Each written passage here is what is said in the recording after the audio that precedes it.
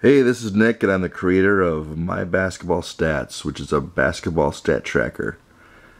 And when you first open it up, it gives you a team name, and you can edit the team names, you can delete them, or you can add them, add a new team name. Usually when uh, I have a new game that's just going to start, I just go to the team name and I have, um, I usually put the coach's name in.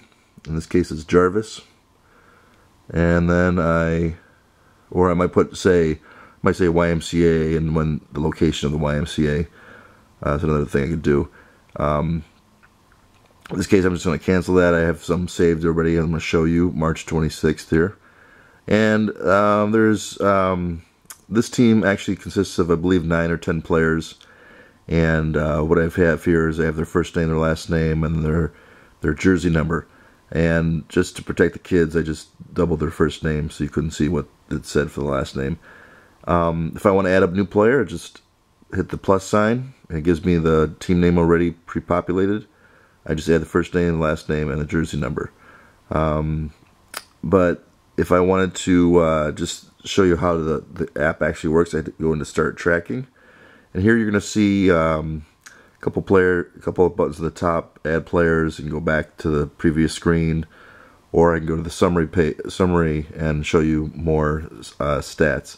This is a completed game, so everything's filled in already. But you can see here um, at the very top they have we have four quarters overtime and then total, and then each digit underneath represents the amount of points that were scored in that quarter, and then the total points here at the very last um, button.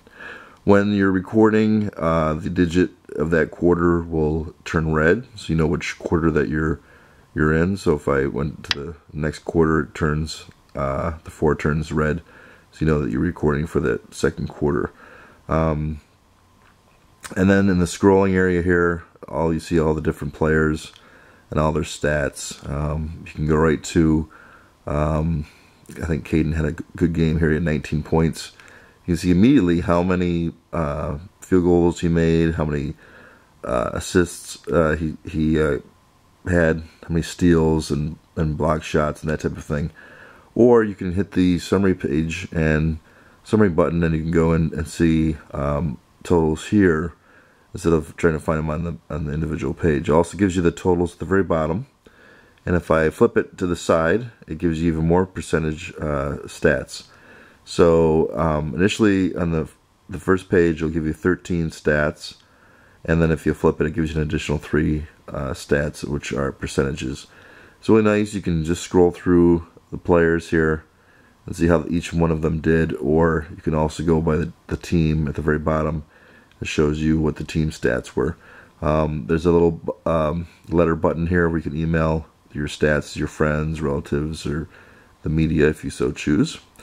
And um, I'm going to cancel the draft here. All right.